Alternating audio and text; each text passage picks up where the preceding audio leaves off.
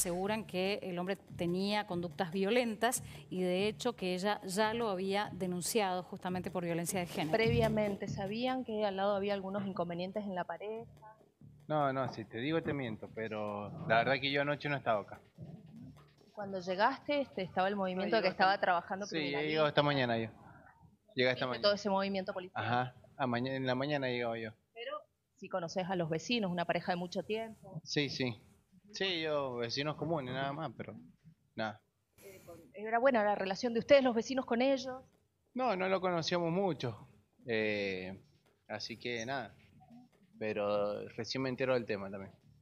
Bueno, gracias. No, de nada.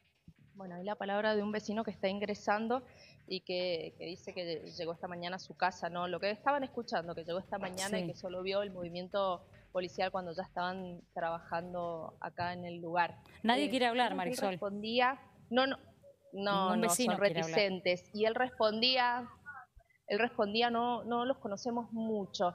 En realidad, eh, bueno, puede que las distintas generaciones de las familias conozcan más o menos a los vecinos, ya hay gente que dice que los conoce desde chicos, pero es cierto que otros nos manifestaban, apenas nos veíamos y nos saludábamos, era un ole chau. Entonces eso coincide con lo que sí nos dice este Un saludo que cordial, nada él más. no los conocía mucho.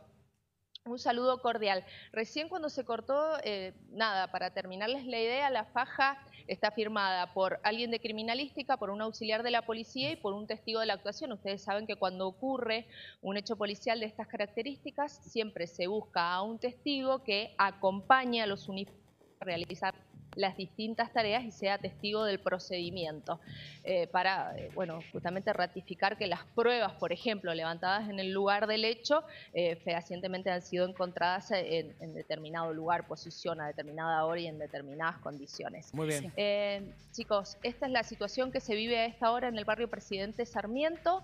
Eh, recién ahora hay un poquito más de movimiento, de, de chicos que caminan, algunos jóvenes, gente que va llegando ya a la hora del almuerzo, pero cuando llegamos nosotros todo absolutamente tranquilo, no había ni una persona Claro. excepto la consigna policial.